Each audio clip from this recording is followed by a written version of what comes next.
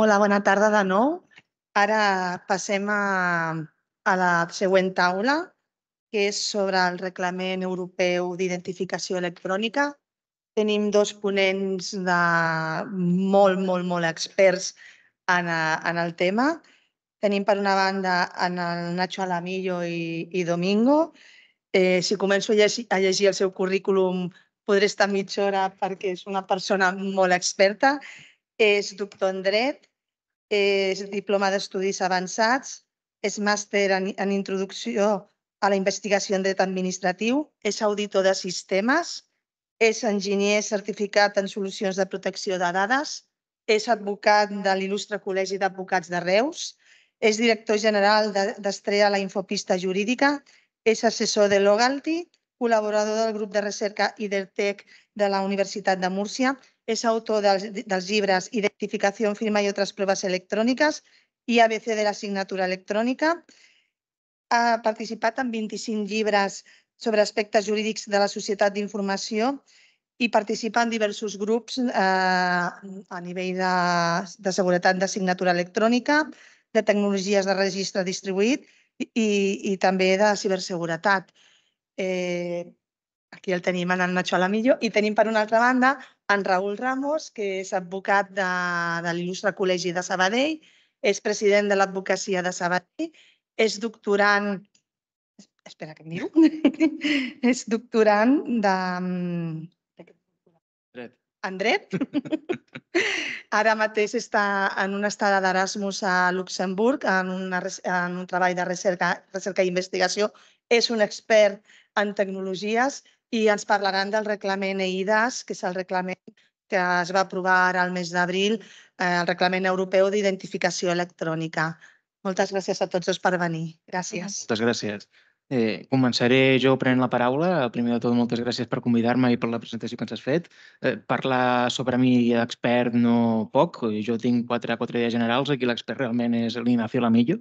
Jo, per sort, el que he d'explicar és una cosa més de base teòrica. Després ja en Nacho entrarà més en matèria en relació amb el que jo desenvoluparé una mica com a base introductòria del que dirà. Moltes coses de les que diré probablement hi haurà alguna rata o alguna cosa a millorar que segur que Nacho farà algun apunt al respecte i així acabem de redreçar les qüestions que no hagin tampoc quedat clares. I bé, jo el que faré serà dedicar uns minuts a introduir el, el reglament europeu 1183 que es va aprovar, es va aprovar per ja eh, un parell de mesos. Va entrar eh, encara no està en vigor, però sí que es va publicar al Diari Oficial de la Unió Europea el 30 de, del mes passat així que és un reglament ara prou nou, és el conegut com EIDAS 2, que el que ve a fer és innovar, és actualitzar el reglament d'identificació electrònica que tenim abans de 2014 i el que faré serà també deixar unes petites reflexions al respecte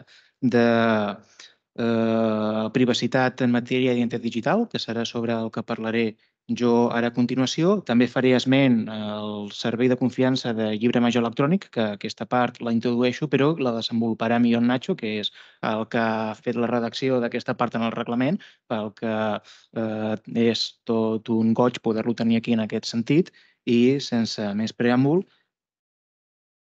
us parlaré sobre ja el que us he comentat. Això és un petit sumari de l'explicació que jo ara desenvoluparé i, i bé, el que tenim sobre la taula no és res més que el reglament EIDAS, que és el de 2014, el d'identificació electrònica i altres serveis de confiança, i això no és res més que una normativa de la Unió Europea que el que fa és establir un marc comú eh, per la identificació electrònica i els serveis de confiança en les transaccions electròniques. L'objectiu d'aquest reglament, en el seu moment, era facilitar la interoperabilitat i seguretat dels serveis digitals en el mercat únic europeu i així com fomentar la confiança dels ciutadans i les empreses en l'ús de mitjans electrònics. Així doncs, el reglament de 2014 partia d'una part molt diferenciada en quant a identificació electrònica com a bé públic dels estats i, en segon lloc, d'altra banda, el servei de confiança, que no són res més que una col·lecció de serveis tancats que tracten una visió privatitzada de la prova electrònica, com la signatura electrònica, el segell electrònic coses que els advocats ja estem acostumats a fer servir contínuament amb la relació amb l'administració pública i de justícia a l'hora d'enviar documents perquè ja és una cosa que solem tenir per la mà, però moltes vegades no coneixem els eh, bé, detalls tècnics que hi ha darrere i els detalls legals que s'hi conjuguen a tot això. I bé, per què parlem de serveis de confiança? Doncs precisament perquè són serveis que estan reglats legalment, són una col·lecció tancada, són els que estan en el reglament detallats de manera concisa i això s'explica perquè tenen uns efectes jurídics determinats, tenen un valor probatori i, en conseqüència, hi ha un règim jurídic de supervisió, de control i contingut obligatori dels prestadors en un sentit molt estricte. Doncs bé, anem a l'actualització que és el reglament 1100 83 d'aquest any 2024, que el que fa és actualitzar el reglament que teníem del 2014 i l'eix troncal és un canvi de paradigma en com entenem i mm, maneguem identificacions electròniques. Això es fa amb la voluntat de tenir un sistema molt més flexible d'identificació, a més que introdueix una forma de manegar la identitat d'una manera més descentralitzada, o sigui, de fugir del que són els típics sistemes rígids d'identificació com sol ser el DNI, que està tancat en un plàstic i necessitem en conseqüència un lector criptogràfic per poder accedir a aquell certificat. I, en fi, el que tracta, en tot cas, aquest reglament és que el ciutadà comenci a tenir el control sobre les seves dades. Ara bé, quan el sistema és d'identificació electrònica i en els seus efectes transfronterers, l'EIDAS de 2014 no implementava en aquell moment cap obligació de que eh, aquests sistemes doncs, fossin interoperables ni hi havia una obligació certa cap als estats d'emetre sistemes d'identificació que permetessin als seus ciutadans identificar-se o fer servir aquests mitjans per identificar-se front a administracions públiques d'altres estats membres. Això suposava un fre per la cohesió i desenvolupament del mercat únic digital europeu i és el que ha portat eh, el legislador europeu a actualitzar eh, aquest reglament. Perquè, clar, les limitacions que teníem amb l'EIDAS de 2014 eren, en primer lloc, aquesta voluntarietat dels estats membres a l'hora de notificar serveis d'identificació. Notificar no és altra cosa que eh, fer extensiu el sistema d'identificació que es fes servir que es fes servir de manera nacional perquè els ciutadans poguessin accedir a administracions dels estats membres. Això entronca amb una segona limitació, que era la dificultat dels proveïdors de serveis privats d'accedir a aquestes identificacions, que comportava que no es pogués fer servir eh, a l'hora d'identificar individus en el sector privat. Només es va conformar el legislador europeu amb que això fos interoperable entre administracions públiques i de manera transfronterera, però és una obligació precisament de que això els estats membres tots ho tinguessin pel que teníem un mercat a doble, a doble velocitat en el qual hi havia ciutadans de la Unió que per exemple, des d'Espanya sí que podien accedir a serveis públics d'un altre estat, com el francès, però si un altre estat no havia notificat el seu sistema, els seus ciutadans no podien interrelacionar-se ni amb els serveis espanyols ni amb cap altre tipus de servei. Pel que això suposava un fre al que és el mercat únic digital, que no oblidem al final que la Unió Europea és un gran mercat i el que ens interessa precisament és que eh, existeixi tota una normativa harmonitzada i europea per desenvolupar aquest mercat digital.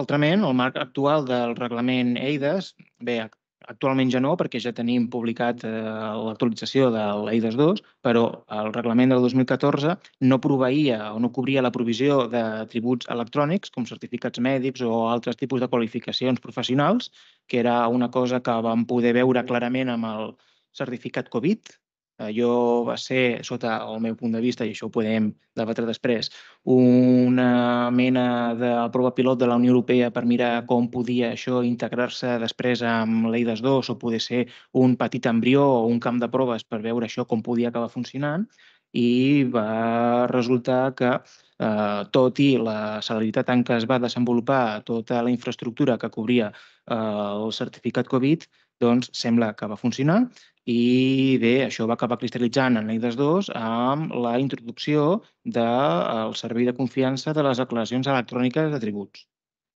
I bé, i això no és res més que documents electrònics emesos i signats digitalment per una font de confiança eh, i bé, que es poden validar criptogràficament.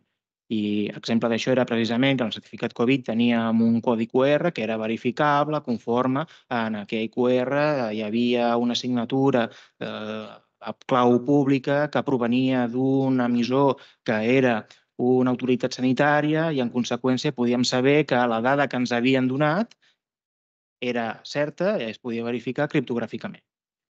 Doncs bé, a més, per respondre a les dinàmiques de mercats, el que fa el reglament ES2 és introduir o ampliar el llistat de serveis de confiança i aquí entren els llibres majors de eh, els llibres majors electrònics, que no deixa de ser una cosa similar a blockchain, però amb una normativa i amb una reglamentació desenvolupada que dintre del el principi de neutralitat tecnològica que inspira el reglament EIDAS, dos, en aquest cas, doncs que precisament es pugui tenir un marc jurídic que pugui implementar o pugui encabir dins del reglament aquest tipus de tecnologies. No deixa de ser un enfocament tecnològic perquè diverses visions tecnològiques tinguin cabuda dins del reglament en independència del nom comercial o de com habitualment quelcom les conegui i aquest servei es mostra com un element de suport per la posada en comú de dades que siguin procedents de fonts descentralitzades per solucions d'identitat descentralitzades i sobiranes, que també és una cosa que després ens parlarà en Nacho. Així doncs, l'EIDAS 2 el que pretén és donar lloc pel 2030 a la implementació generalitzada d'una identitat digital fiable, voluntària, que estigui controlada per l'usuari, és a dir, és un canvi de paradigma en el qual l'usuari rep les seves dades i és l'usuari qui decideix què se'n fa amb aquelles dades. A més, el reglament EIDAS 2 el que fa és introduir un veritable dret a la identitat digital, perquè introdueix un mandat als estats membres per emetre una cartera digital europea que, a partir del document nacional d'identitat, en el nostre cas, en Espanya, el DNI, a partir d'aquell instrument se'n pugui derivar a un altre, que és aquesta cartera digital europea, que podrà fer, es podrà fer servir per relacionar-se tant amb el sector públic com amb el privat. I això és una de les noves novetats que introdueix el reglament. I, finalment, el que per el que eh, es pretén és passar de l'utilització exclusiva de serveis i solucions nacionals d'identitat, com és el DNI o com és el certificat de la FIC de moneda i timbre, per tenir unes declaracions electròniques de tributs en sentit ampli, un document electrònic que vingui segellat electrònicament per un tercer que doni fe i constància de certes dades d'identitat personal. O sigui, no deixen de ser eh, actes certificants d'administracions públiques també amb la intervenció de tercers. I tot això reconegut sota el règim de serveis de confiança, pel que anem cap a un model d'identitat descentralitzada en el qual certament les nostres dades eh, passen al nostre control i ja no és l'emissor de les dades que a l'hora que s'hagi de verificar la correcció d'aquella dada, el tercer que la rep hagi de connectar-se amb l'emissor. És a dir, aquí es posa l'usuari en el centre per desconnectar la connexió entre l'emissor i el receptor de la dada perquè no hi hagi aquesta vinculació i, per tant, la possibilitat de crear perfils per l'usuari. Però al final l'important és precisament que l'usuari pugui tenir el control de les seves dades. Això el que ens porta és que les novetats que introdueix el reglament EIS 2 ve a ser la introducció d'aquesta cartera d'identitat digital europea, que, com he comentat, és un mandat cap als estats membres per l'emissió d'aquest instrument, que l'usuari pugui tenir també un control de totes aquestes dades i, per altra banda, introdueix com a serveis de confiança des del punt de vista de l'identitat digital les declaracions electròniques de tributs, que no deixen de ser també la forma d'exercici de potestats certificants de les administracions, amb la participació d'empreses, com més endavant desenvoluparé. I, accessòriament, s'introdueixen els llibres electrònics que no són necessaris a l'hora de la provisió de la identitat digital o per la seva gestió, però sí que tenim com a antecedent, en aquest cas, i això em donarà pas perquè després el Nacho pugui explicar, que el 6 de juliol del 2023 des de la Secretaria d'Estat de Digitalització i Intel·ligència Artificial es va emetre un acord en el qual es delimitaven els possibles supòsits de validesa de sistemes d'identificació i signatura electrònica a l'administració de l'Estat mitjançant tecnologia de digital distribuït. Això implica ja una primera aposta per part de l'estat espanyol per poder fer servir aquest tipus de sistemes per recolzar-se a l'hora de eh, gestionar la identitat digital. I així ja podem veure com Espanya intenta posar eh, una mica posar-se a la capdavantera de tot això i des del punt de vista de l'advocacia doncs, tenim molt a dir a l'hora de com tot això s'ha de traslladar dins de l'estat espanyol pel que s'obre una finestra d'oportunitat molt important des del punt de vista institucional i també des del punt de vista acadèmic per poder desenvolupar tot això i que des de eh, Espanya i ja, per què no dir-ho també, directament des de Catalunya, des de la Universitat Autònoma de Barcelona i juntament amb el Consell dels Il·lustres Col·legis d'Advocacia de Catalunya, doncs tot això es pugui treballar en conjunt i situar les nostres institucions locals en el capdavant de la gestió de tot aquest nou afer que ara s'obre amb aquesta nova regulació europea. Doncs bé, entrant ja una mica en matèria i accelerant la meva explicació, tenim per una banda les declaracions electròniques de tributs que es contenen en l'article 45 ter de la nova regulació, que són aquest equivalent electrònic dels actes de certificació i actes de constància que fan les administracions públiques i altres entitats, però de manera harmonitzada de tal manera que si tenim la nostra eh, targeta de, de sanitària europea en el nostre dispositiu mòbil, doncs això ho podrem ensenyar a totes les institucions europees i també les privades, de tal mode que eh, aquest document electrònic sigui vàlid en tots els 27 estats membres sense que eh, ningú pugui dir res en qüestió d'interoperabilitat o de seguretat. Serà obligatori que aquestes declaracions electròniques a l'hora que es mostrin siguin acceptades per tots els estats membres. I això és un canvi de paradigma, perquè vol dir que passem de tenir la informació centralitzada en espais de dades eh, tancats a tenir-ho de manera eh, oberta sota el nostre control. Per tant, hi haurà proveïdors de dades que ens facilitaran tots aquests apunts sobre la nostra identitat que els emmagatzemem nosaltres. És a dir, no deixaran d'existir les bases de dades centralitzades de prestadors tant públics com privats, però significarà que totes aquestes dades que estan distribuïdes en diversos prestadors les tenim nosaltres i nosaltres decidirem a qui les mostrem, com, quan, sota quines condicions i de la mateixa manera quan volem nosaltres fer ús del nostre dret d'oposició sobre el tractament d'aquestes dades. I això eh, s'aconsegueix a través de la institució del servei de confiança, que pot ser qualificat o no qualificat. Per tant, és una visió privatitzada de la prova electrònica. Quan estem parlant d'un servei eh, no qualificat, aquí el que fa el reglament és dir que no es podrà impedir l'accés d'aquestes declaracions electròniques d'atributs en un procediment judicial que en el moment en què hi hagi quelcom conflicte jurídic o, o qualsevol eh, controvèrsia que hagi d'acabar en un plet, doncs que això no eh, es podrà per part ni de l'altra part ni del jutge exclourà com a prova. I això és molt important des del punt de vista provàtica i des del punt de vista de l'exercici professional de l'advocacia. I després tenim, per altra banda, aquelles declaracions que siguin qualificades, és a dir, que s'hagi passat una sèrie de controls ex ante, i, per tant, tots aquests controls previs de la tecnologia, una vegada que s'han passat, que s'han controlat, doncs sí que tindran uns efectes jurídics i aquí l'efecte jurídic que imposa el reglament o que diu el reglament que tindran és l'equivalència entre el document electrònic i el document en paper que representa aquest document electrònic. És a dir, el títol universitari que ens emet la Universitat Autònoma de Barcelona, aquest document, que és el paper, que la validesa la té el paper, el paper original o el paper compulsat, tindrem tota aquesta validesa jurídica que té el paper traslladada al document electrònic.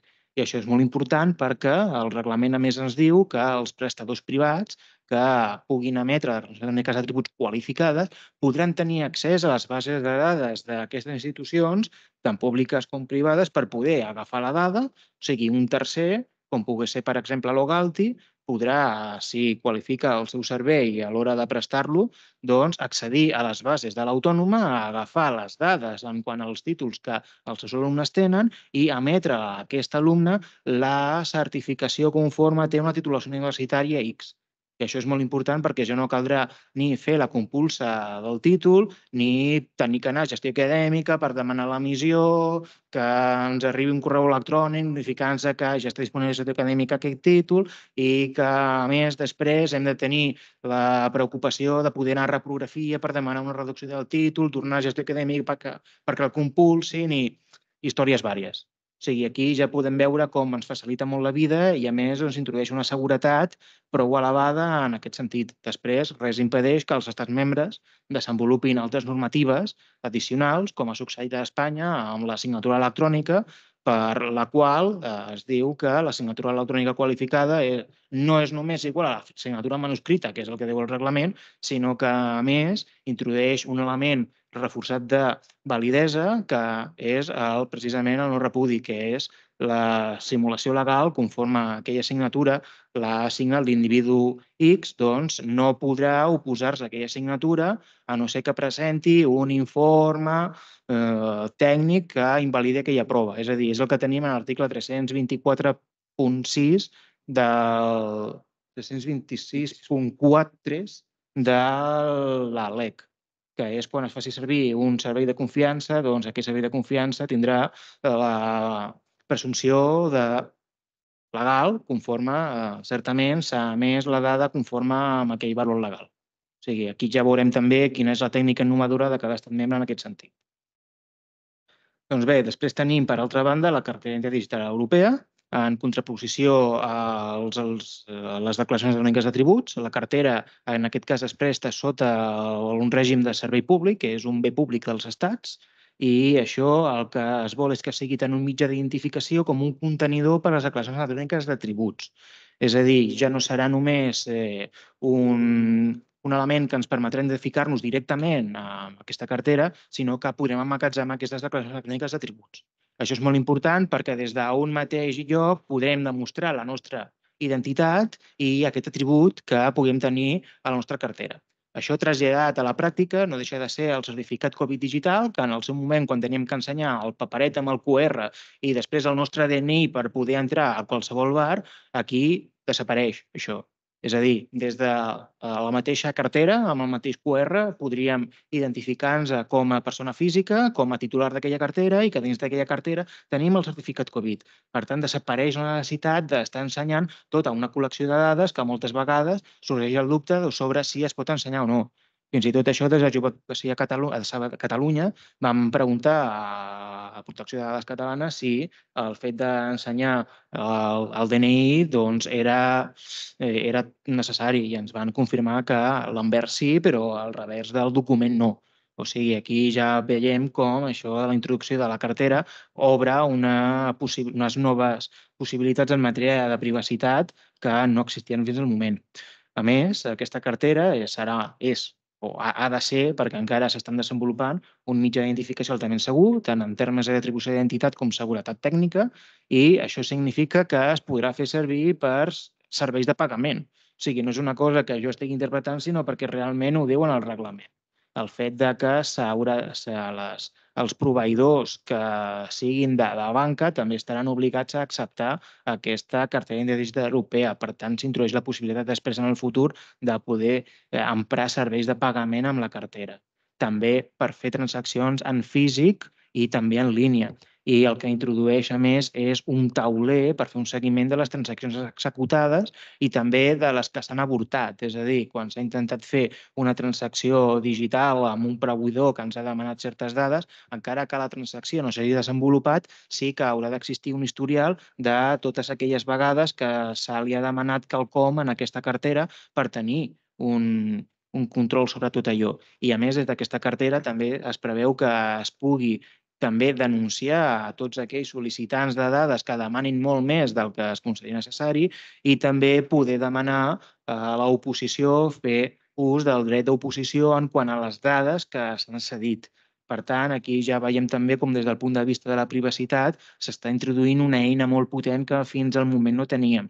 I finalment la cartera també està prevista com a un mitjà per poder crear i utilitzar signatures i segells electrònics qualificats i que es puguin segellar declaracions personals o atributs també que es puguin fer de manera autodeclarada per part de l'usuari. O sigui, aquí ja podem veure també com hi ha una gradació molt important en quant a seguretat de dades es tracta, perquè en funció del tipus de transacció electrònica que es tracti, doncs amb una autodeclaració ja li pot valer a un prestador de serveis, com per exemple l'accés a un portal de notícies, si ens volem registrar en ell. Però ara, si volem accedir a la creació d'un compte bancari, doncs és evident que la seguretat que això demana, que serà molt més alt, doncs hi haurà dades que s'hauran d'acreditar d'una manera més fafaent, que això també ens ho permet la cartera. Doncs eh, bé, com comentava abans, doncs, eh, aquí podem veure una mica amb els articles que faig esment en aquesta transparència el que comentava quan a la banca serveis financers, que això serà per quan es requereix una autenticació reforçada d'usuari per l'edificació en línia, que serà voluntari per l'usuari. És a dir, ha de ser l'usuari el que ho demani, no serà l'entitat el que imposarà tot això. Això també introdueix una forta visió d'autonomia de l'usuari. Això és des de la vessant de voluntarietat de l'usuari. Una cosa és que l'Estat estigui obligat a l'entrada d'aquesta cartera i l'altra qüestió és que serà voluntat de l'usuari fer-la servir o no. No hi haurà una imposició en aquest sentit. I també, això molt important, i aquí eh, volia fer esment en quant al que diu l'article 5septis.3, que les plataformes en línia de molt gran grandària, estem parlant de mm, xarxes socials, estaran obligades, si l'usuari així ho demana, de poder-se identificar front a elles i crear un compte bancari des de la cartera. Això vol dir que eh, deixaríem de facilitar-li, per exemple, a Facebook tota una col·lecció de dades que moltes vegades ni sabem per què les volen i que es poden fer servir posteriorment de manera espúria per la creació de perfils o per la...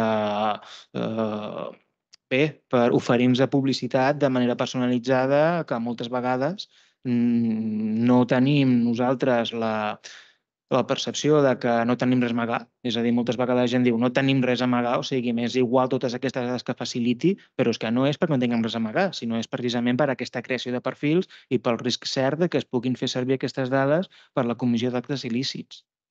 O sigui, aquí ja estem veient també com s'està introduint una eina molt potent a l'hora de prevenció també del delicte des del punt de vista del delicte això és molt important perquè la prevenció que ofereix tot això és des d'un punt de vista molt potent de protecció de dades. I també ja a l'article 13.5a de la a l'article 13 de la cinquena directiva de blanqueig de capitals també es preveu que la possibilitat de fer servir la cartella digital europea per la identificació a l'hora del que es diu el KYC del Know Your Customer i saber amb qui està tractant, per exemple, l'entitat bancària. O sigui que estem veient que eh, hi ha una forta aposta en el mercat europeu per fer servir eines de caràcter d'identitat de protecció de dades personals molt important.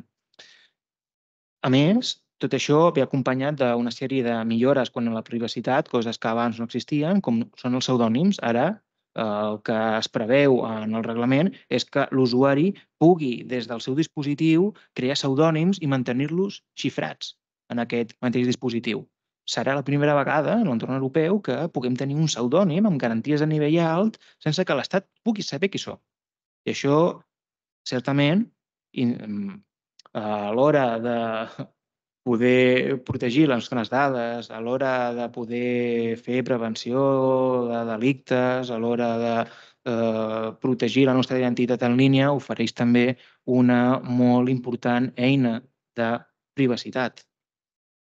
Després també tenim les tècniques de divulgació selectiva de dades personals, cosa que fins al moment no teníem tampoc harmonitzat a nivell europeu.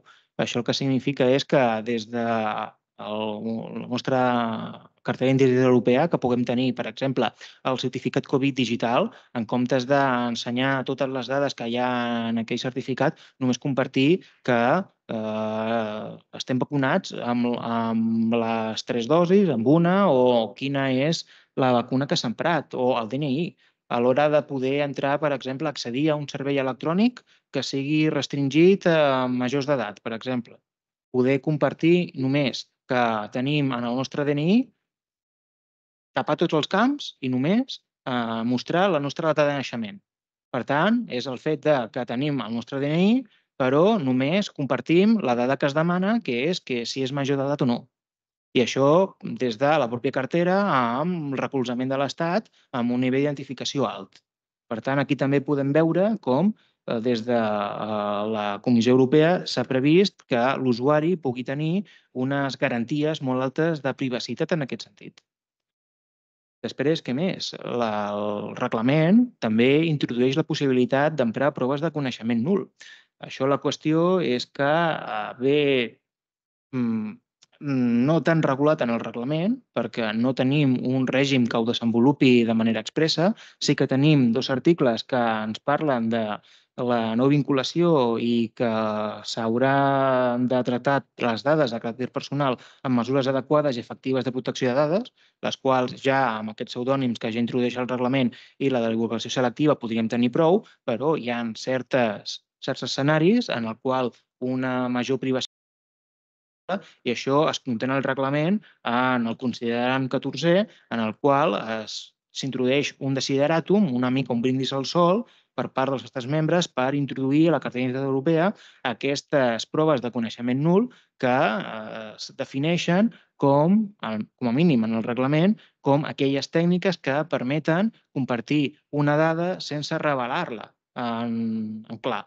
Això el que ens introdueix, pensem en el certificat Covid, és des de la cartera i integritat europea poder demostrar que tenim a la nostra possessió un certificat al qual diu que estem vacunats, però sense ensenyar cap més dada d'aquell certificat. O si volem accedir a un servei electrònic restringit a majors d'edat, poder demostrar que tenim a la nostra possessió un certificat que acredita que som majors d'edat, però ja directament ni ensenyar la data de naixement, sinó que som majors o no de certa, quantitat, de certa edat. Això és molt potent en quant a privacitat eh, es tracta, ja que podem tenir uns nivells molt alts de privacitat en funció de eh, l'escenari en el que ens trobem. La problemàtica d'aquesta eh, millora que s'introduiria per part del reglament és que no hi ha una obligació certa pels estats membres de desenvolupar-ho al contenir-se en els considerants, això el que implica és que eh, es deixa a l'arbitri de cada estat membre el fet de poder desenvolupar, cosa que ens portaria a les mateixes problemàtiques que el reglament des del 2014, és a dir, la voluntat, voluntaritat dels estats membres de desenvolupar aquest tipus de tècniques, la manca d'interoperabilitat d'aquestes eines i la falta d'efectes eh, transfronterers, ja que els estats podrien decidir no acceptar aquestes proves que siguin emeses per als estats membres i ens podria portar fins i tot a una fragmentació del mercat únic digital davant la possibilitat de 27 possibles esquemes diferents que no siguin interoperables ni tinguin una, uh, un veritable efecte transfronterer.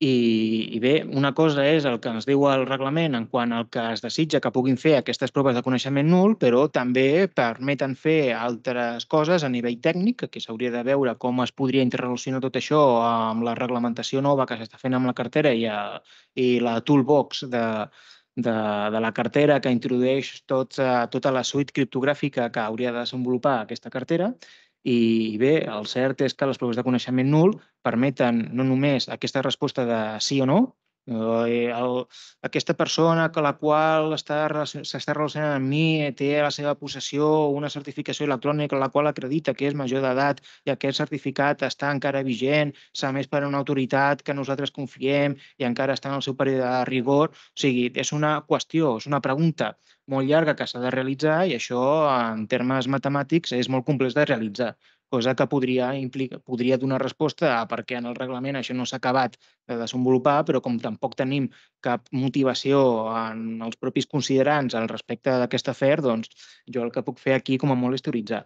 I una altra cosa que ens permet és fer una cosa similar a la divulgació selectiva de dades el fet de eh, poder, per exemple, compartir el nostre nom i cognom d'acord amb el que diu en el nostre document nacional d'identitat, però sense compartir, llavors, eh, la data de naixement, sinó que som majors d'edat. O sigui, això ens permetria també una modalitat en qüestió de privacitat. Tot això sense comprometre la verificabilitat de la dada en concret i, a més, poder fer totes aquestes comprovacions criptogràfiques en la part de l'usuari i no en la part del verificador com normalment eh, se sol realitzar en l'àmbit matemàtic. I bé, tot això ens porta a ser reptes en matèria de privacitat i jo m'estic centrant més en poder analitzar quin és el valor d'aquestes proves de coneixement nul dins la meva investigació doctoral i és una mica també perquè us he deixat anar tota aquesta introducció al respecte i volia aprofitar també doncs, per poder parlar una mica sobre el que estic fent, ja aprofitant que estic aquí, que estic a la meva casa, que és l'autònoma, i que bé, eh, és eh, també un, un goig poder compartir tot això amb les persones amb les quals estic duent a terme la meva investigació. I és que, clar, eh, les proves de coneixement nul, per una banda, sí que semblaria ser que, eh, d'acord amb el reglament, tenen una, eh, forta cabuda, però no estar desenvolupat el seu règim legal, doncs ens manca un règim legal. Tot això per què? Perquè tenim, per una banda, que sí que ens diuen que les declaracions tècniques d'atributs són equivalents quan són qualificades en el paper, però ens faltaria aquesta regla que digués que una prova de coneixement nul també. La pregunta és, per què ens cal llavors aquesta, aquest règim jurídic? Doncs ens cal perquè una prova de coneixement nul, per la seva definició tècnica, no és contrastable amb les dades originals, és a dir, nosaltres compartiríem que són, per exemple, majors d'edat, donaríem un, eh, tota una sèrie de flux matemàtic que vindria a la cartera d'identitat europea conforme certament s'ha dut a terme una eh, operació criptogràfica dins d'aquell instrument i que, per tant, sí que s'acredita que matemàticament aquella dada és certa, però no es pot contrastar amb la dada original. Això ens porta a que una autoritat supervisora, quan ens vingués a demanar explicacions, no podríem donar-los-hi. I això és una cosa que es va dur a terme amb el cas ARIES, el cas pilot ARIES de Reliable European Identity Ecosystem, que va participar precisament també l'Ignacio Lamillo, amb la participació de la Universitat de Múrcia, i això el que van fer va ser un projecte pilot a l'aeroport de Stanford Leeds, allà a Regne Unit, pel qual van poder muntar tot un sistema i això ho van testejar i van demostrar la seva viabilitat d'estar en possessió d'un boarding pass vàlid és a dir, una targeta d'embarcament vàlida per viatjar un dia en concret i, en conseqüència, fer-se el descompte de l'IVA en l'establiment de l'aeroport.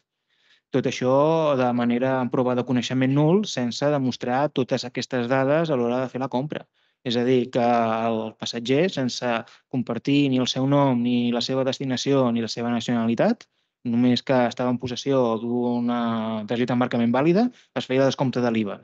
Val, tot això estava molt bé en matèria de privacitat des de la part de l'usuari, però tot això ve, eh, la problemàtica ve per part de, de qui confia en aquestes dades del comerciant. És a dir, ens hem de centrar en la protecció del, comerciant, de la part que està confiant en aquesta prova matemàtica, perquè després quan vinguin els d'Hisenda i li preguntin, val, sí, escolti, vostè certament va fer això, val molt bé, tècnicament ens podem arribar a creure que funciona, però jo no puc veure la dada concret que vostè va verificar, no tinc la certesa de que això sigui així, sentint-ho molt, eh, tindrem que sancionar-lo perquè no podem saber si certament vostè va poder fer aquesta verificació de manera correcta.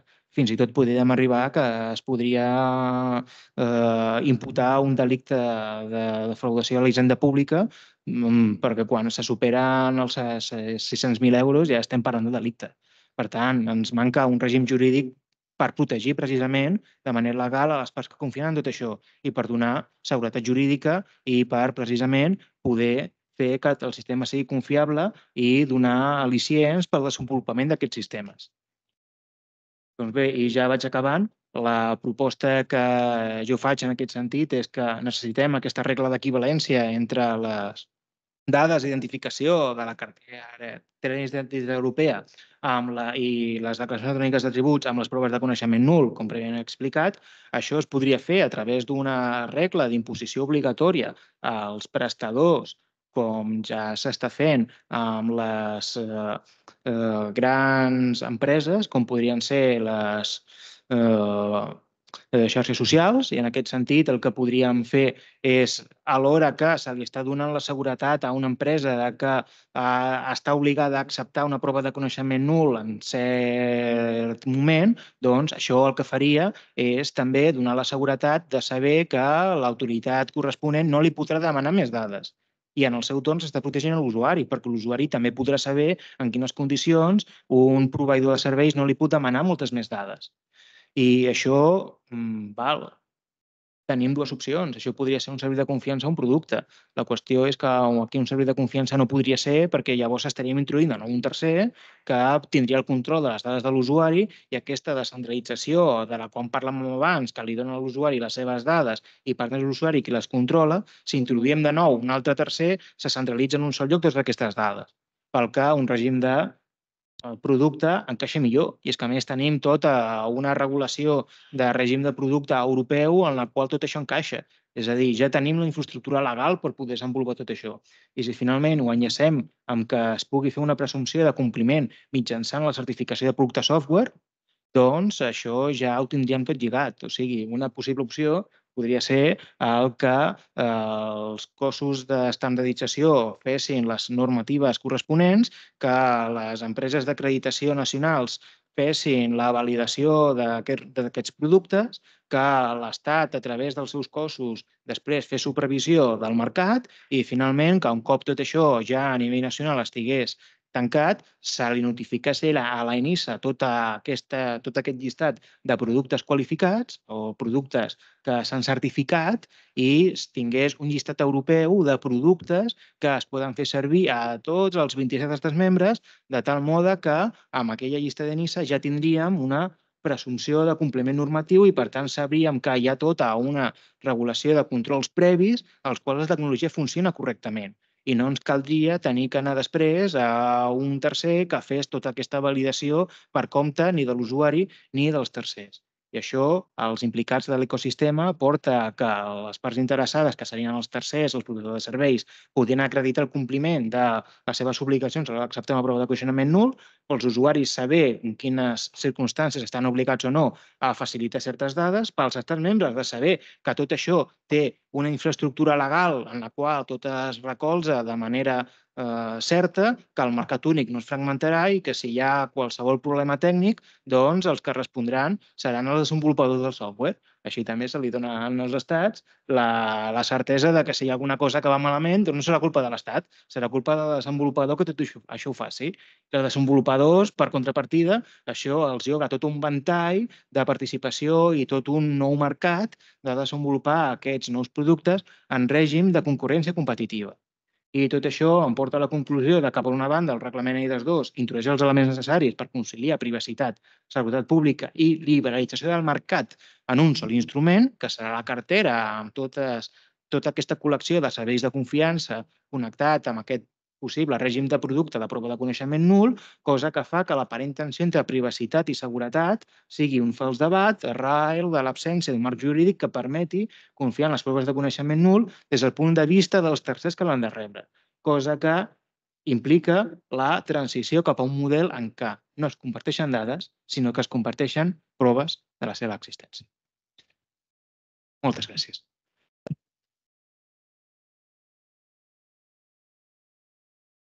Doncs ara el Nacho Alamillo continuarà, continuarà amb, amb, la, amb, la, amb, amb el desenvolupament de la ponència. Gràcies, Nacho. Molt bé. Uh, bueno, sí. Doncs bon, bona tarda. En primer lloc, doncs, eh, gràcies per la invitació doncs, a venir a complementar no, l'excel·lent explicació que ha fet el, el Raül. La veritat és que em sento molt, molt orgullós de com ja té la tesi gairebé a punt, el, clarament. I, I, de fet, el Raül, de fet, no només ha explicat l'EIDAS 2, sinó que ha anat una mica més enlluny perquè, efectivament, el, tot el tema de progrés de creixement nul serà la propera onada. Aquesta, diguem, no, no s'ha pogut.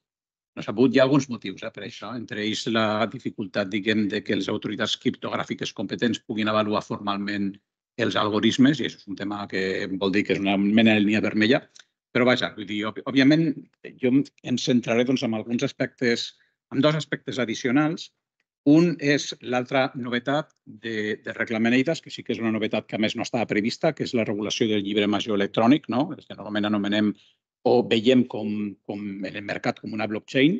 Us explicaré una mica d'on ve aquesta proposta de regulació, que efectivament em va tocar liderar, perquè des del 2019 vam començar a treballar en un projecte de blockchain europeu que està ja molt madur, que teòricament haurà d'entrar en vigor durant, durant aquest any, en, en producció, vull dir, és a dir, oferint serveis reals, per la qual cosa doncs, hem hagut de fer un viatge molt llarg, i ho connectaré una mica amb el tema d'identitat digital autosobirana, que és un dels models d'implementació des de la perspectiva tecnològica del que el Raül doncs, ha explicat molt, molt correctament.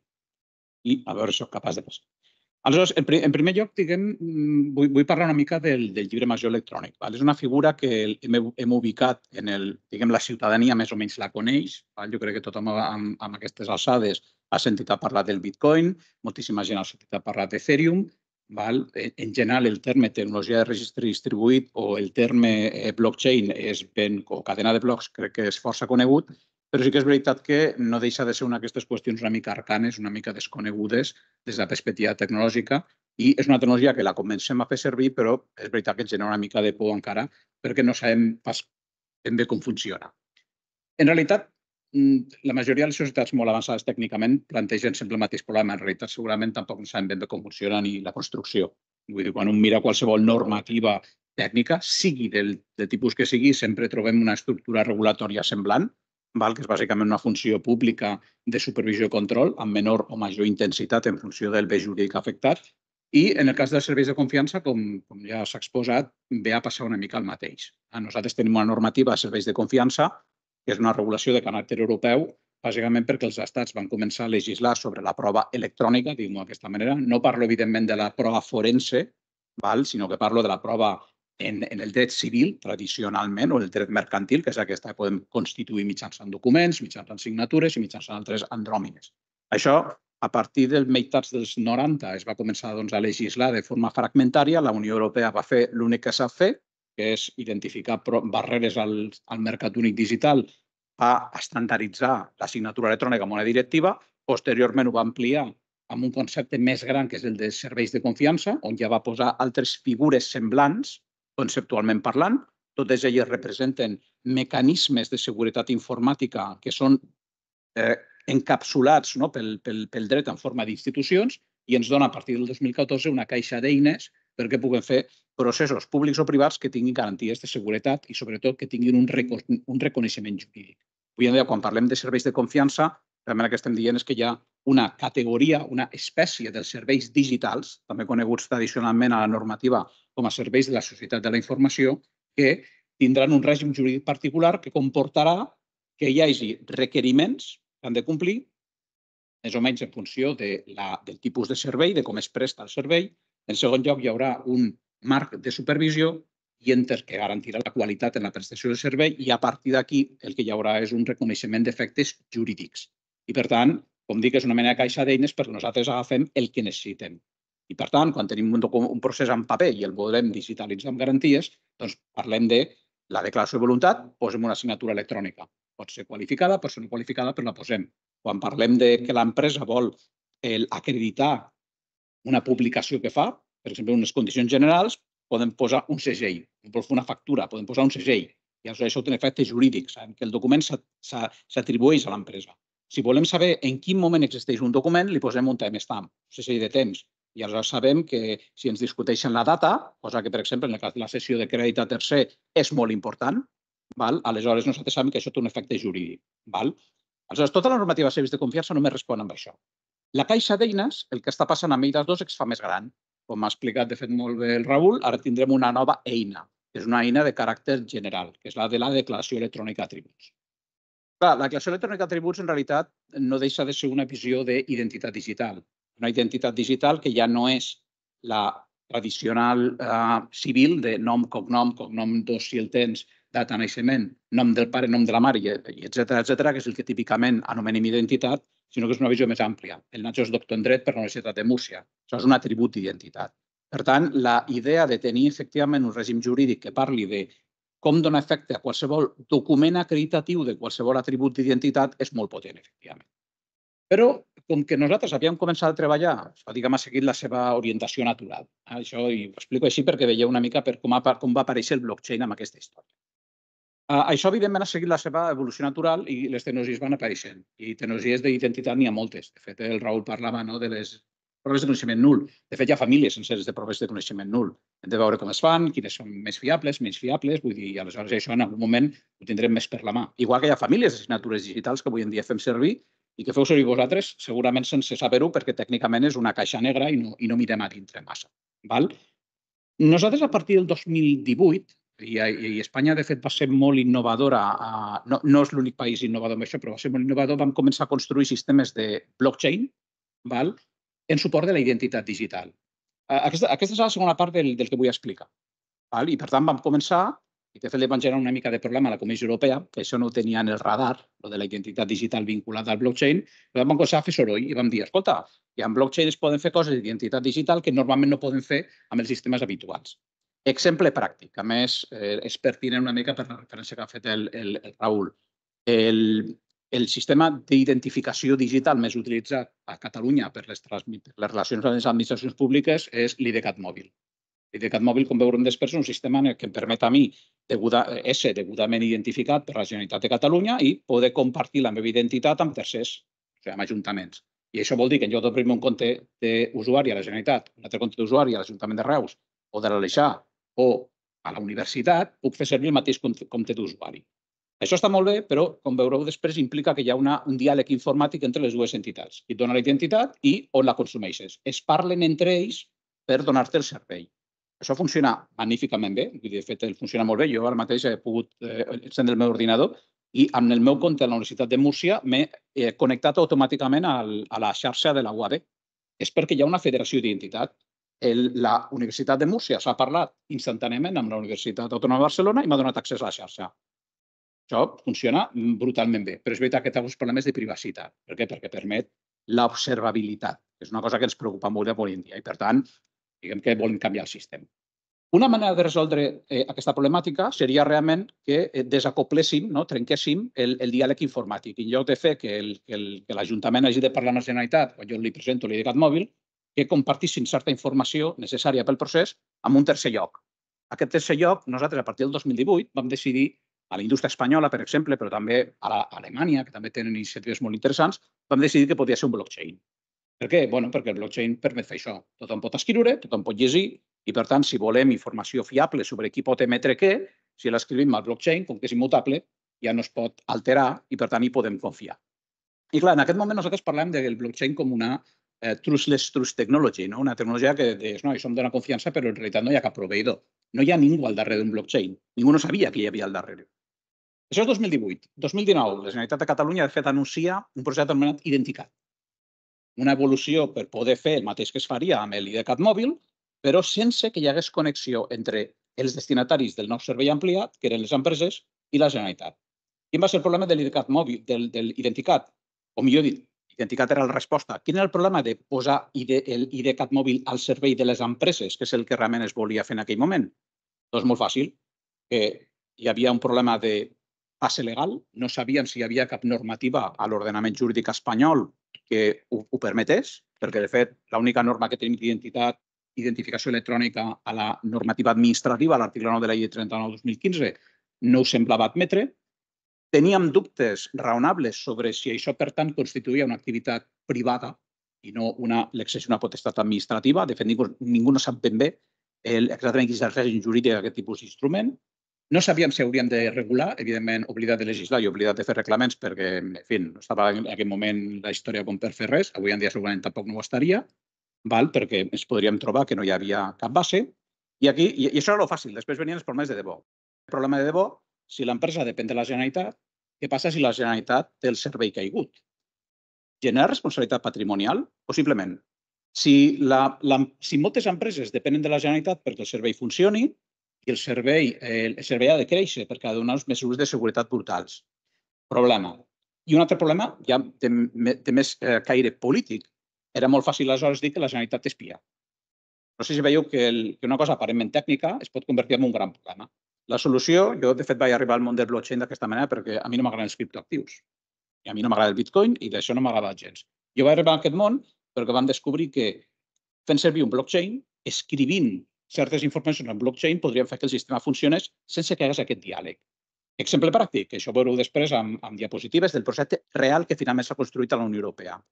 Val? El nosaltres vam dir, si escrivim al blockchain qui pot emetre què, i tothom ho pot llegir, fin del problema. Això ho veurem a la segona part. Però clar, com que això era 2019 i vam començar a construir, val? aquí evidentment no es va poder fer, es va prohibir, que de fet encara es continua formalment prohibit, llevat del projecte europeu que jo em referiré, que és una mica la referència que ha fet el, el Raül sobre aquest acord del Consell de Ministres, que es va haver dictar precisament per poder eh, mantenir la, la participació espanyola en aquests projectes, però vam arribar allà i vam dir, escolta, això funciona. I vam començar a construir. I vam començar a construir, no a Catalunya, evidentment, sinó una miqueta a Espanya, a nivell de, de l'administració pública i, sobretot, dintre del marc europeu. I clar, què va passar?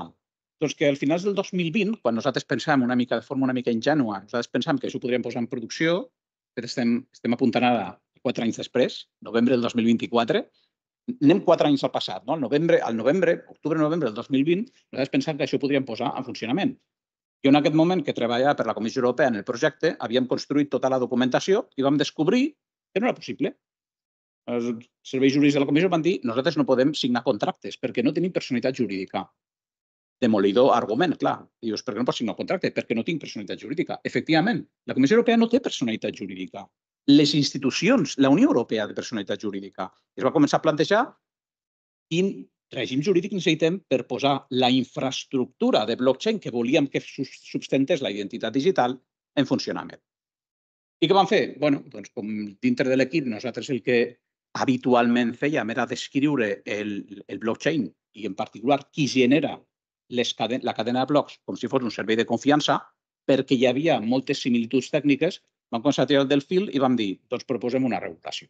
I de fet vam proposar una secció nova al reglament que ha passat doncs, per la tramitació oportuna en el Consell de la Unió, on va rebre moltes, moltes millores. Eh, jo vaig tenir la sort de poder participar en aquesta part del procés com a assessor de la pròpia comissió i va anar al Parlament. El Parlament primer ho va treure perquè li tenia una mica de... En fi, això de la, del blockchain sembla que ve a destruir el planeta.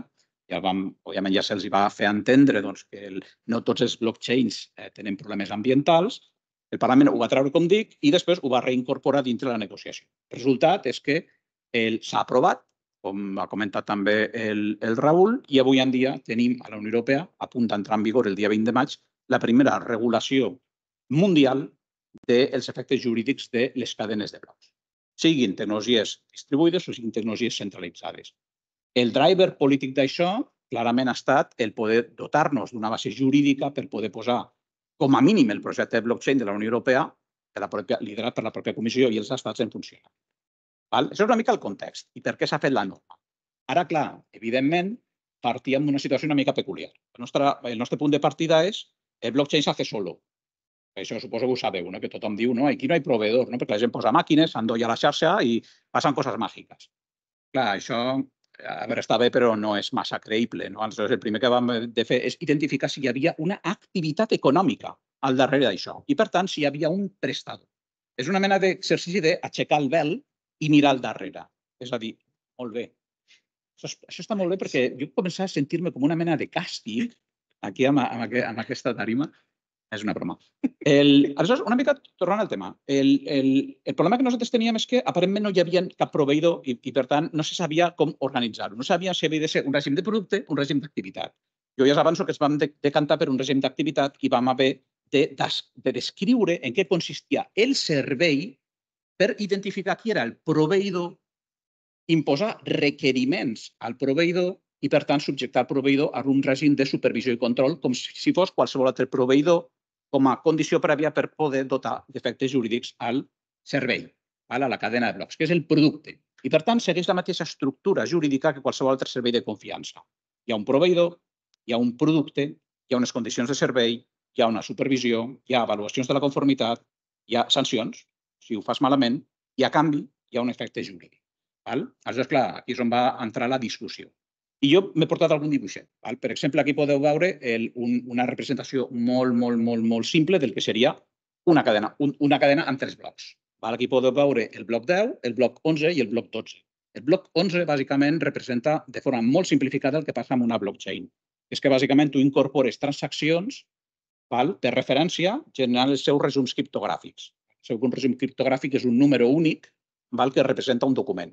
Jo, per exemple, podria tenir una transacció 0, que és un contracte, podria tenir una transacció 1, que és una demanda, podria tenir una transacció 3, que és un pagament, val? i la idea és que jo agafo aquestes transaccions i les incorporo criptogràficament amb un tipus de registre de dades val? que fa que estiguin protegits. Això es fa mitjançant aquest arbre que podeu veure per baix, on bàsicament anem agregant els resums criptogràfics de forma tal que qualsevol que tingui la branca de dalt, qualsevol que tingui l'arrel d'aquest arbre pot verificar qualsevol transacció. Això fa molts anys que existeix, eh? vull dir, no és una innovació ni del blockchain, fa molts anys que ho tenim. Quina va ser la innovació del blockchain? Doncs precisament que va crear aquesta idea de jo incorporo l'arrel de la transacció, l'arrel de l'arbre de transacció, insisteixo, és molt simplificat, incorporo algunes metadades, incorporo una, no, una, una mena de segell de temps i el que faig és vincular-ho matemàticament amb el bloc anterior. Aleshores, clar, aquesta idea de serialitzar transaccions i posar-les en un ordre únic sí que va ser una gran innovació.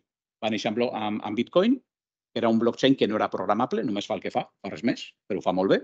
val, va evolucionar amb Ethereum, que és un blockchain programable, vol dir que ja podem fer programes, ja podem programar, i de fet aquí tenim tot el món fascinant dels smart contracts, no? dels contractes intel·ligents i tota la problemàtica jurídica que plantegen, però certament el que no teníem era un efecte jurídic. I, per tant, eh, anàvem una mica coixos. Per què? Perquè tot això està molt bé, però si tens d'anar al jutjat a discutir, eh, cadascú vindrà amb el seu pèrit. I, i clar, haurem de convencer al, al, al, al senyor o la senyora jutge de si això funciona o no funciona. I clar, només el cost d'anar amb la pericial com que no, no és massa raonable. D'acord? Per tant, el que nosaltres pensàvem és necessitem regular la infraestructura, necessitem que allò que estigui escrit en un blockchain tingui algun tipus d'efecte jurídic. I el primer que vam fer és, efectivament, descriure l'artefacte. Què és un, llibre, un llibre major electrònic? Sigui centralitzat, com podria ser un llibre de comptabilitat de tota la vida, o un llibre de banc, o, un o distribuït, seria una seqüència de registres electrònics de dades que garanteix la integritat dels registres, per tant, no es poden alterar, i, i aquí ve la part diferencial, l'exactitud del seu ordre cronològic. Val? Com tot servei de confiança, tenim una definició ordinària i una definició de servei qualificat, on qualificat vol dir que compleix requeriments. I, per tant, si aneu al reglament, veureu que podem tenir llibres proporcionats per prestadors. Aquí apareix l'activitat, no? ja apareix el prestador. Qui fa aquesta feina? I normalment ho fa per diners. Apareix aquí, és un llibre proporcionat per un prestador que compleix una sèrie de requeriments. Que, de fet, no els he portat per no avorrir-vos massa amb això.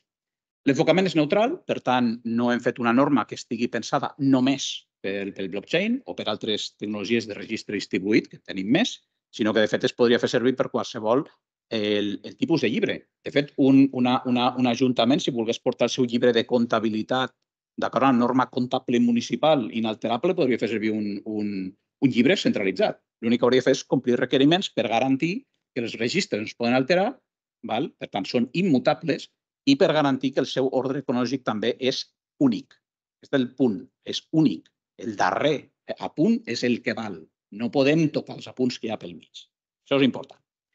Com deia, això ho hem posat dintre de la secció de serveis de confiança, per tant, eh, ho hem regulat com a servei, que ha desaparegut aquesta lògica de el libro major, no? el blockchain se hace solo, no hay prestador i, per tant, normalment quan no hi ha prestador no hi ha responsabilitat de ningú.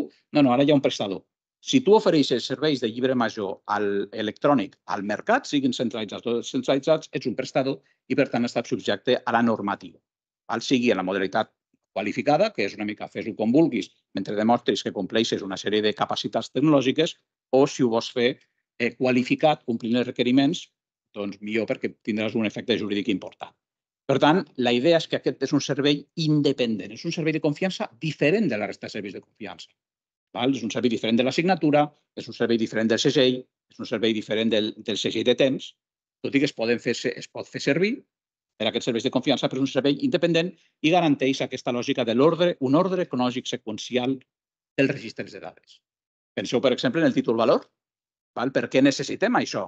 Per fer transferència de control d'actius digitals, per exemple. El títol valor, al final, és un paper que té aparellat un, un dret i qui posseix el paper ja ser un posseïdor únic, cosa que és fàcil, però són àtoms, val? i per tant els àtoms els tens tu a la teva mà, guardats, val? tu tens el valor. Això en, en el món de la informàtica no funciona així. Tu pots fer un PDF amb una lletra de canvi i li pots enviar a tothom i tothom té el mateix PDF alhora i és igualment original i no saps qui és l'últim posseïdor. Per tant, clar, teníem un gran problema per poder tenir seqüències cronològiques úniques que poguessin fer servir en criptoactius, no? en actius digitals o, per què no, en identitat digital, que és el que fem nosaltres.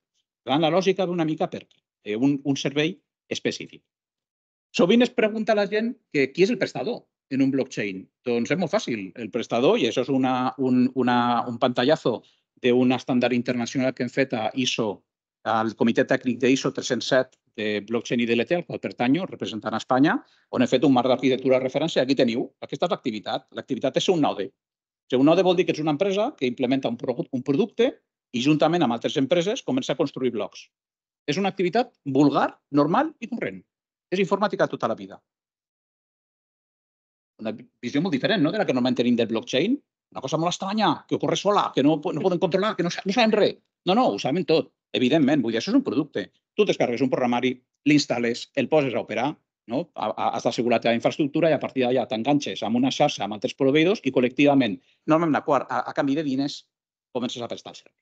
Per tant, clar que sabem qui, qui, és el, qui és el prestador. I a més, molt important, sabem què ha de fer, perquè tenim un marc de referència, sabem quin tipus de coses fa. Sabem que té un motor criptogràfic, sabem que té un motor de, de, de, de smart contracts, val? sabem que té un algoritme de consens, per tant, ho sabem tot. De fet, evidentment, hem muntat un blockchain a la Unió Europea. Per, per, per suposat que sabem qui són els operadors. I, per tant, e, era fàcil, relativament fàcil, tot i que una regulació nova sempre té una certa dificultat, com a mínim identificar, aixecar el vel i dir no, no, esto no passa solo, i ho fa, ho fa, ho fa algo. I si mirem una mica més casos d'ús que planteja la pròpia Comissió Europea, el, el, i això ho he tret d'allà, vull dir, veureu una mica en què estan pensant. No? Vot electrònic, per exemple. Per què vot electrònic? Perquè per garantir la privacitat del vot necessitem que realment la gent no, no es parli entre ells. És a dir, si algú sap qui sóc quan jo presento el sobre de votació, doncs ja no hi ha cap privacitat en el vot. Això es pot resoldre. No és l'única manera, però es pot resoldre amb protocols de vot electrònic. De fet, hi ha una empresa catalana que es diu Bogdoni que ha fet moltes iniciatives interessants de vot electrònic basat en blockchain Val? Eh, cooperació transfrontera d'autoritats duaneres. De fet, aquest era un projecte que teníem al, al, al EPSI per intercanviar-se el número de, el número aquest de la mini finestreta del, de l'IVA, val? o de les institucions acadèmiques, l'intercanvi de títols acadèmics, que és el cas que presentaré, o, i això ha generat una certa, un cert debat no, a Espanya, la inscripció de la propietat d'immobles en registres descentralitzats de la propietat immobiliària. Cosa que és molt interessant perquè avui en dia la infraestructura dels registres de la propietat és centralitzada, no és descentralitzada. És un cas d'ús que podria ocórrer. Per què? Bueno, perquè la transferència de la, del, no? el, tornem a aquello del, del títol i el modo és una cosa que podem implementar electrònicament sempre i quan tinguem garantida la seqüència cronològica única. Això és important, perquè no ho tenim. I no ho teníem fins ara amb un reconeixement jurídic. Ho teníem només amb un reconeixement de la voluntat de les partes, tot lo puede, però luego pelea en juicio. I això és un problema de dimensions fenomenals. I, evidentment, és una línia vermella per posar un projecte de sector públic en funcionament en el que portem una despesa acumulada de vora 60 milions d'euros i que necessita una base legal per funcionar. Per tant, hi ha casos d'ús de sector públic que, a més, sense regulació sabem que no funcionarà. Molt interessant la, la, el, una mica el recado no, que ens deixa el, el, el legislador, ja no la Comissió Europea, perquè aquest és el text que resulta del, dels colegisladors, parla directament de que és necessari per garantir la seguretat jurídica i promoure la innovació tenir un marc jurídic a escala de tota l'Unió Parla del reconeixement transfronterer, que és molt important perquè en un entorn descentralitzat i, i altament distribuït no ens quedem les fronteres, diguem, que no produeixen massa efecte, però sobretot diu que això ha d'impedir suficientment copiar i vendre més d'una vegada el mateix actiu digital a diverses parts. Això és poder el que és més important. Si jo tinc un token, jo tinc, per exemple, un valor associat amb un producte que pot ser off-chain, com un quadre, val? evidentment haurem de garantir que qui, qui, qui, qui crea el token té drets suficients com per crear-lo, aleshores jo puc eh, rebre aquest valor i el puc negociar amb tercers. Exemple pràctic, l'Oficina Europea de Propietat Intel·lectual està començant a pilotar amb nosaltres la blockchain determinats casos d'ús per poder crear un mercat secundari de transferència de valor associats a inscripcions oficials del seu registre. Això és molt important, de fet, s'ho han presentat la setmana passada a Brussel·les. I des de la perspectiva purament normativa, no, de val, tenim proveïdor, tenim un artefacte, no, que és un producte, tenim un servei, tenim requeriments, tenim tot, Val? Què és el que obtenim mm, gràcies a una regulació? Doncs obtenim el mateix que obtenim amb qualsevol altre servei de confiança. Val? Si el servei no és qualificat, traduït, no compleix una sèrie de requeriments ben definits d'alta seguretat eh, i no ha estat validat pel govern, si no ha rebut la qualificació, i per tant no sabem massa com funciona, el que guanya més el principi de no discriminació. Això és dret de, de, del comerç electrònic de, de, de fa, vaja, 30 anys. Val? Vull dir, tens dret a anar amb això al jutjat. Honestament, això a Espanya no ho necessitàvem, vull dir, perquè des de la LEC del 2000, abans sí que poder, hi havia dubtes, no? que si tot, tota font de prova pot accedir o no al procediment judicial, però amb la llei d'enjudiciament civil, mira, 384 i, i, i, i, i, en fi, aquí paz y tiempo y gloria, no? I, venga, i, i venga los peritos, no? Però no és massa útil però com a mínim és veritat que ens garanteix que una infraestructura d'abast europeu sí que valga tota la Unió Europea. I això és important, perquè no tots els ordenaments jurídics són tan generosos com l'ordenament jurídic espanyol del 2000. Hi ha ordenaments jurídics que, si tu no tens realment una regulació, et discriminen i no pots portar la font de prova al jutjat perquè no hi ha mitjà de prova.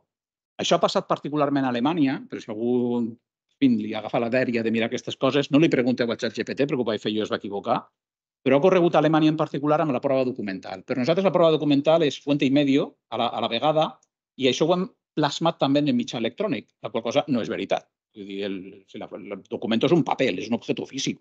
de tota la vida. Com a mínim en dret civil. El dret penal té una visió germànica diferent, materialista i no compta. Però a, a nivell de dret civil, la font de prova, que és un paper, hauria d'anar com a paper al jutjat. Després hem, hem començat a intentar aprendre com digitalitzar papers i com fer que aquests papers tinguin valor i, de fet, el reglament de té una interessantíssima eh, novetat al respecte. Però realment, en, si tu t'ho mires bé, un PDF és de tot menys una prova documental, perquè tu, per començar, no et relaciones directament amb la prova. De fet, això que esteu veient aquí no és això. Per dintre això és XML. Nosaltres no ens relacionem directament amb la font de prova. Anem intermediats per un producte informàtic. Per tant, aquesta idea de que, de que la, la prova documental electrònica, font i mitjà és el mateix, és una bajanada monumental. I ho sap tothom. El que passa és que ens ha interessat dir-ho per evitar problemes jurídics, el que fem és el mateix que fem en paper. Tu presentes el document, si no, si, si no és impugnat, fa prova documental, si és impugnat, te'n vas al 384, fas una pericial, es valora sana crítica i tornes com si fos prova documental. Val? Aleshores, altres països que ho han regulat de forma més estricta, el, el resultat que no hem tingut és una discriminació en l'accés d'alguns documents electrònics al jutjat. I en particular això afecta al blockchain. Perquè el blockchain és un document. És un document molt particular, però és un document molt llarg, molt complex, que incorpora per referència, però, jurídicament parlant, la font de prova és documental. Per tant, ja ens anava bé tenir un principi de no discriminació i, sobretot, ens permet posar en marxa això sense que ens diguin que estem netejant diners o que és il·legal o que és delictiu o qualsevol cosa que sí que et trobaves abans de que hi hagués una regulació. De fet, països com Alemanya, que havia jurat no fer servir blockchain per a res ni identitat, han dit, ara que tenim una regulació, que evidentment han hagut de negociar, ara diuen, farem servir un blockchain qualificat un blockchain que compleixi requeriments. Per tant, aquesta és la lògica jurídica per nosaltres. Tot pot valer, principi no exclamació, però si fem servir un blockchain qualificat, val, aleshores té eficàcia jurídica reforçada. Per què? Perquè s'entén eh, gaudeix d'una presumpció. I quina presumpció és aquesta? Doncs la unicitat i exactitud de l'ordre cronològic seqüencial de les transaccions del propi llibre. Per tant, si jo estic fent tokenització d'actius i estic fent un mercat secundari d'actius on tot, tot entre nosaltres ens traspassem actius automàticament substantat en blockchain, el darrer posseïdor que consti al blockchain és qui té el valor. I hi ha una presumpció de que això és d'aquesta manera. Això és importantíssim i realment seria l'únic que avui en dia em fa mi ser optimista respecte a la eventual modificació de la llei canviària del xec que per fi, no, després de molts anys, eh, podríem implementar eh, juntament amb altres, com exemple, títol valor poder per excel·lència, eh, amb un tipus de tecnologia com aquesta. I finalment, el reconeixement transfronterer. Evidentment, això és una infraestructura, val? anem a una mica perquè el... cap i quart podem acabar. Sí. Val? El, eh, com tota infraestructura, aquí la podeu veure per baix, val? en aquesta cadena, és una infraestructura que tu fas servir per coses. La infraestructura com a tal no fa res. Bé, sí que fa. I el, el, tu li envies un smart contract i, i executa alguna cosa. Val? Normalment, per tant, el, el que fem és combinar aquesta infraestructura amb un servei finalista. Per exemple, quin exemple, què, què, què he posat jo com a exemple de per a què serveix un blockchain? Per a tokenitzar actius. Jo faig un actiu digital, val, a partir, per exemple, un actiu físic, i aleshores li transfereixo a una altra persona. I això ho escric a la cadena. I, per tant, la cadena té valor, té valor probatori, sobretot si és qualificat, doncs ja en funciona.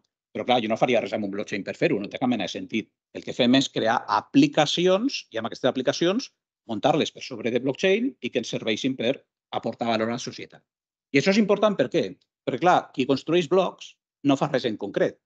Tu no pots dir-li a qui construeix una cadena de blocs que es faci notari per entendre si la gent està tokenitzant amb dret o sense dret. No li pots dir que es converteixi en registrador de béns mobles val, per saber si està tokenitzant amb títol o sense títol.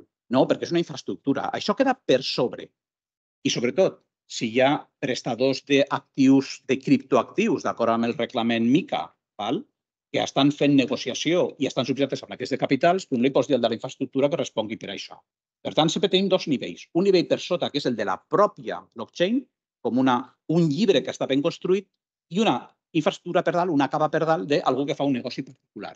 Aquí podeu veure exemples no? on apareix la identitat digital al mig, apareix el, el, el tema d'emetre certificats administratius i aplicacions, diguem, de, de més al nivell, no? com per exemple podria ser la moneda virtual, els pagaments digitals o les de subministrament. Aquí el reglament el que ens diu és que sense perjudici de, de, que aquest reglament s'entén sense perjudici de que qui fa aquestes aplicacions hagi de complir la llei. Per tant, si jo sóc un prestador de criptoactius i estic subjecte a aquestes capitals, jo continuo estant subjectes a aquesta norma i jo sóc l'únic responsable.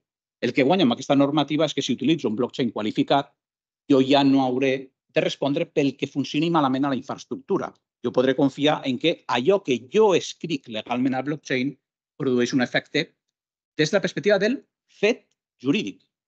Recordeu que això és un fet jurídic el que acreditem aquí. Aquí no acreditem per la inserció o transmissió de valor dintre d'un blockchain, no acreditem una acció jurídica, estem acreditant un fet.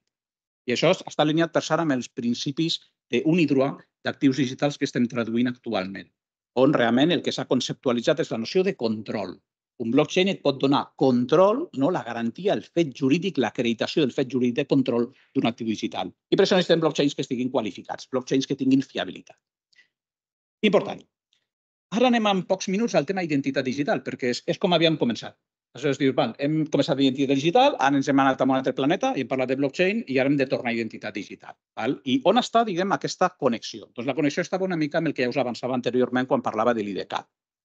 I només que en aquest cas m'he portat, doncs, com que m'és fàcil sempre criticar doncs, a, a, als dolents de sempre, no? m'he portat un dibuixet de com típicament funciona una autenticació en Facebook quan vols accedir a una aplicació que està instal·lat al teu mòbil.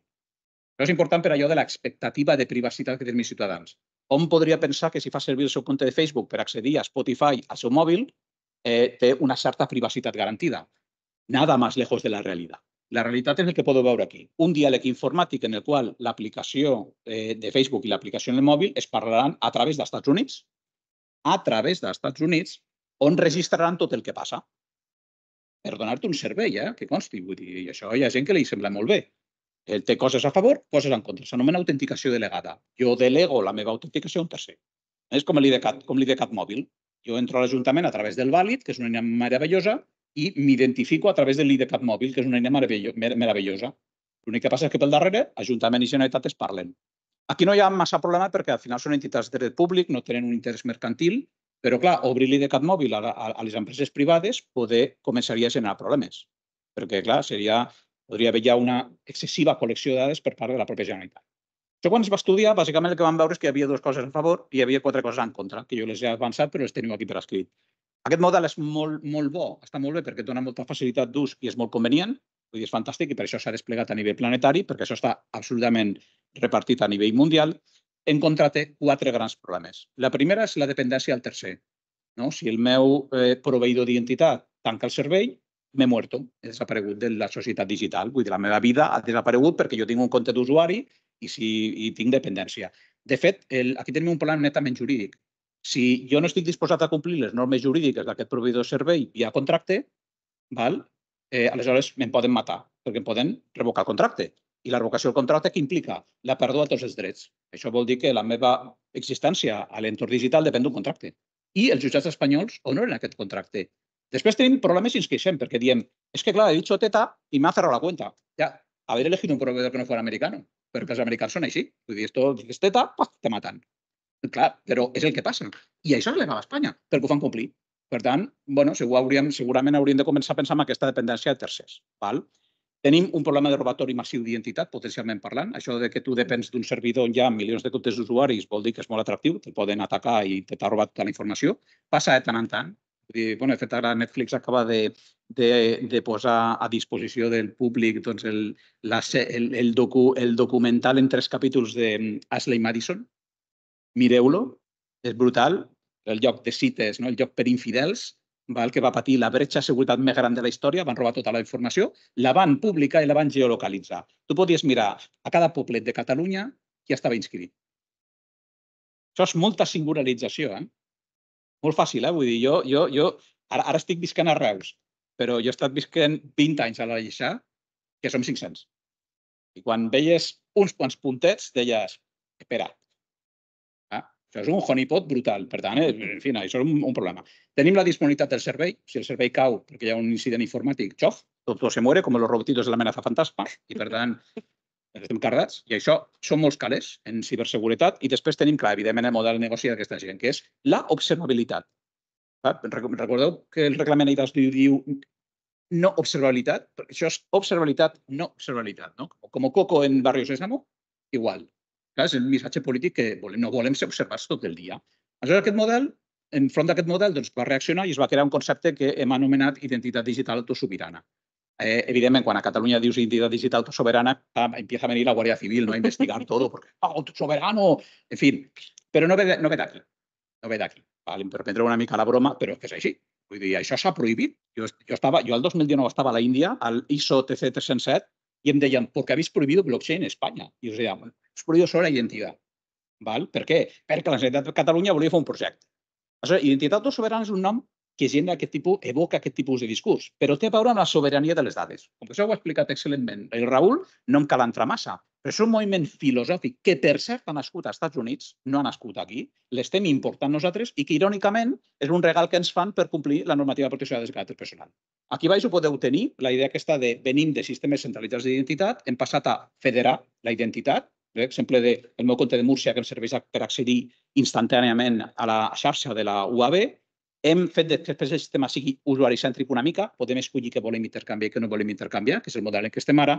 Ara volem un model autosobirà. Autosobirà vol dir que no tenim aquestes dependències que tenim de tercers. Les meves dades són meves, me les dones a mi, jo les comparteixo. Exactament igual que la cartera que jo porto. Jo, si jo vull mostrar el meu títol de família nombrosa amb un comerç, la Generalitat no s'assabenta, no ho veu, no és visible.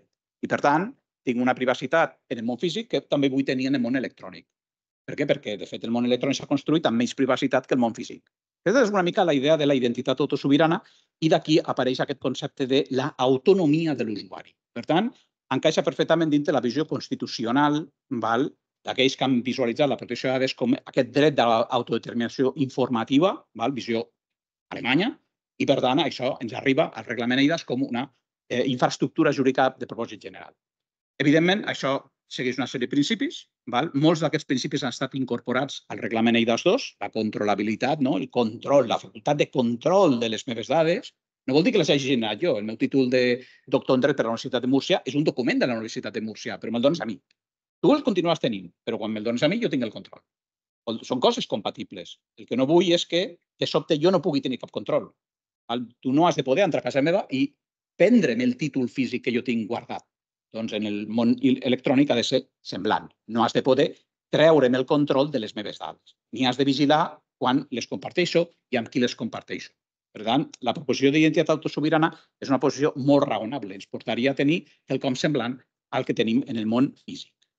Però clar, jo he dit que el, el, el problema que tenim en la identitat delegada és que es parlen entre ells i per tant comparteixen massa dades. I això com s'arregla? Doncs es pot arreglar de diverses maneres. Però la que vam començar a treballar fa eh, ja gairebé cinc anys a la Unió Europea, que de fet eren eh, els estats de la Unió que s'havien consorciat per fer un, un projecte que ha anat evolucionant, era fer servir un blockchain. I això ho veurem molt ràpidament. Aquí podeu veure doncs, en el centre d'equació un estudiant val? que té una cartera, que és un producte d'identitat digital, molt semblant a la cartera que tenim, que tenim aquí actualment, que el que farà és obtenir una declaració d'atributs emesa per un emissor, que és la seva universitat, per poder-la presentar amb, un, eh, amb, un, amb una altra universitat o amb, un, o amb un empleador en un altre país.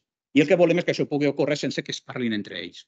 Val? Per tant, com que el, el que hem de fer és muntar un sistema que ens permeti la verificació d'aquesta credencial sense haver de fer que ells es preguntin. No? El que no volem és que quan la noia vagi a la, al, al, a la, a la nova universitat o a l'empleador, l'empleador hagi de trucar a la universitat grega i preguntar qui és aquesta persona, com es diu, si realment està titulada o no. Ojo, aquest és el model que tenim ara. Ara mateix, si tu vols fer segons què a, a nivell transfronterer, si tu, per, per exemple, vols treballar fora i has d'acreditar la teva titulació, hi ha un sistema d'intercanvi entre els estats, val? que és la passarel·la eh, única digital, on s'intercanvia una mena d'expedient. És a dir, les, les entitats es canvien dades. I, de fet, també tenim a Espanya, article 28 de la 39, un sistema magnífic d'intercanvi de documents entre administracions públiques. I, I a Catalunya funciona molt bé. De fet, jo avui en dia la meva expectativa és no em demanis el títol de família nombrosa si ets un ajuntament. No me'l demanis, ves-ho ves a mirar. Això no, no ho discuteix ningú. El problema que tenim és que si una empresa privada vol demanar el meu títol de família nombrosa, no podrà fer, per restriccions de protecció de dades. Perquè intentaran no, fer un, un anàlisi, diran jo tinc interès legítim perquè tu és el document i quan arribi la Generalitat, la Generalitat dirà si no està la llei no t'ho dono. Això passa a tota la Unió Europea i, per tant, necessitem una infraestructura que complementi els sistemes que tenim actualment d'intercanvi de documents. I ha de ser un sistema autosobirà, perquè ha d'estar sota el control de l'estudi. Doncs aquí, bàsicament, ho podeu veure. Nosaltres el que farem perquè això funcioni és escriure en un blockchain, en un llibre major electrònic, preferentment qualificat, que és una cosa en que estem treballant ara, tota la informació necessària perquè l'empleador pugui verificar la identitat i la capacitat d'expedició de la universitat grega. Algú sap com funciona avui en dia això en paper, quan, quan, quan és una entitat privada? No? Doncs us faré només un, un petit spoiler. Si jo sóc una empresa privada i vull rebre un títol d'una universitat grega, he d'anar a la directiva de qualificacions professionals publicada en el diari oficial, he de buscar un annex i he de mirar si l'emissor apareix en aquell annex. Brutalment eficient, com podeu veure. Cada alta d'un nou emissor implica modificar la directiva. Brilliant. A banda de traduir el títol que està en grec, evidentment. I, per, i, i molt possiblement, si sóc purament privat, hauré de demanar que algú em validi, a banda de la traducció jurada, que això és legal. I, per tant, acabaré apostillant el document. Bienvenidos al infierno de los pecadores. Clar, això és horror. És horror total. És com verificar poders en un món de contractació electrònica. La gent no ho fa. Amb això el que volem és que quan la persona, no l'estudiant, presenti el seu diploma a l'empleador, l'empleador simplement vagi a blockchain, verifiqui que existeix la universitat, verifiqui que la universitat està autoritzada per emetre aquest diploma, verifiqui que el, el, realment el diploma no s'ha revocat. És l'únic que nosaltres volem. Això és el que tècnicament anomenem Verifiable Credential, un document verificable, i s'assembla als sistemes que tenim avui en dia. S'assembla al sistema de signatura electrònica, però no s'assembla al codi segur de verificació. I això també ho coneixeu. Eh? El numeret aquest, que fantàstic, no? El, demencial en termes de privacitat, horrible en termes de seguretat, ha generat tots els problemes del món. Nosaltres hem d'anar a una web a picar el número val? i fins i tot ens diran que ens identifiquem per veure si podem accedir a aquest document. Eh, és la visió completament oposada a aquest projecte. Aquest projecte és de donar-li el document a la persona i que el pugui compartir amb qui vulgui, sense que hagin de parlar prèviament, sense que hagin de compartir dades quan intercanvien i que, per tant, la persona pugui sigui autònoma i sigui autosobirana en la compartició de les seves dades. Això, evidentment, es basa en tecnologia. Hem construït a sobre d'un blockchain, com us deia, aquest model. Aquí podeu veure el mateix que jo explicava des de la perspectiva de la persona que té la cartera d'identitat, utilitza un protocol per anar a la universitat i obtenir el seu diploma, el guarda a la seva cartera i el pot presentar amb un tercer. De fet, això és exactament semblant eh, al que tenim avui en dia amb els passbooks que portem. Quina és la millora? Que ho podem fer a distància. Un passbook no el pots compartir a distància perquè no saps qui el té. No? Volem, a més, que tu puguis saber que si el títol li han emès al Nacho, que realment sàpiguis que ve del Nacho quan tu està presentant. I és on entra una mica tota la discussió del, la, la, fins i tot del Zero Knowledge Proof, val? és una cosa que estem treballant en, precisament en el grup tècnic que desenvolupa la IDAS 2. Per tant, és com tenir un registre administratiu descentralitzat amb la identitat i les autoritzacions de tot un perímetre. I això és una mica el que gestionem a nivell del model no? Per exemple, perquè una universitat catalana pugui emetre diplomes reconeguts a tota la Unió Europea, ha de rebre un document electrònic del Ministeri que s'escriu al blockchain. Tenim un procés d'enrolament i garantim identitat de la universitat, no? per exemple, autònoma, que a més eh, la Catalunya s'ha fet un projecte molt, molt, molt interessant anomenat Camins, que alinea tot amb EPSI, la possibilitat d'emetre val, i la, eh, la, la vigència. I clar, com a, com a valor afegit és, aquí no hi ha idioma, per tant, no hem de traduir res, i utilitzem models orientats a dades. Per tant, si coneixes l'esquema de dades, coneixes el vocabulari, pots verificar automàticament. El, molt interessant, estem fent projecte des de l'OGAT i en aquest cas amb la Universitat de Múrcia sobre verificació automàtica de poders.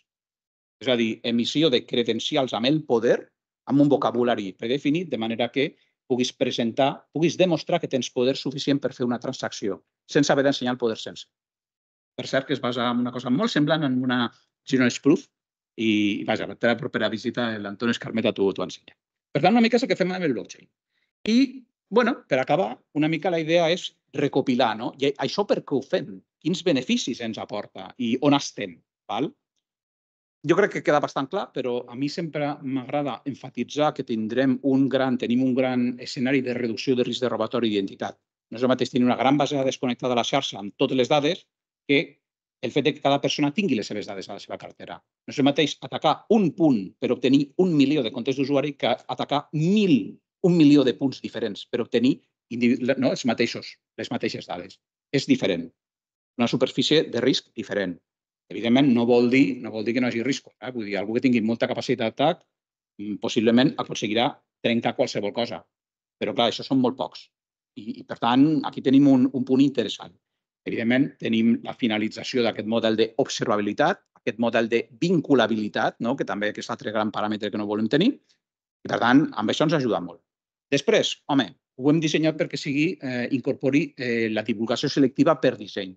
Això sembla, sembla um, una, una cosa menys important del que realment és. El que estem dient és que a partir d'ara tots els documents que tinguin que vinculin amb una persona amb atributs d'identitat, tots els documents a la Unió Europea incorporaran la divulgació selectiva. Per disseny. Per tant, desapareix la noció d'un document que no tingui divulgació selectiva. Això és molt important. I, de fet, implicarà un canvi fenomenal per part de les administracions públiques, perquè parlem d'una nova tipologia de document administratiu, que ara no tenim. Per això, de fet, hem de fer servir sistemes de signatura digital lleugerament diferents al que tenim ara. Però també, a canvi, desapareixen les còpies, desapareixen les còpies parcials, val? obtenim un gran benefici.